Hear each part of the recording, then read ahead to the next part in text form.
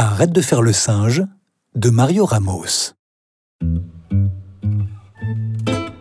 Arrête de faire le singe Tu bouges tellement que je n'arrive pas à t'habiller correctement, disait ma mère. Arrête de faire le singe Tu ne peux pas jouer calmement sans faire de bêtises, disait mon père. Arrête de faire le singe, tu es fatigant, tu vas finir par avoir un accident, disaient mes parents. Ne sachant plus quoi faire, ils m'ont emmené chez le médecin. Le docteur m'a ausculté et a dit « Je vois, je vois ». Puis il a avoué qu'il ne voyait rien du tout. Et la vie a continué.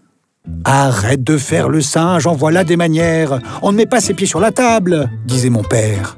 Arrête de faire le singe. Ce n'est pas comme ça qu'on s'assied dans un fauteuil. Tu vas te rendre malade, disait ma mère. Un jour, mon père, voulant protéger son vase préféré, provoqua une catastrophe.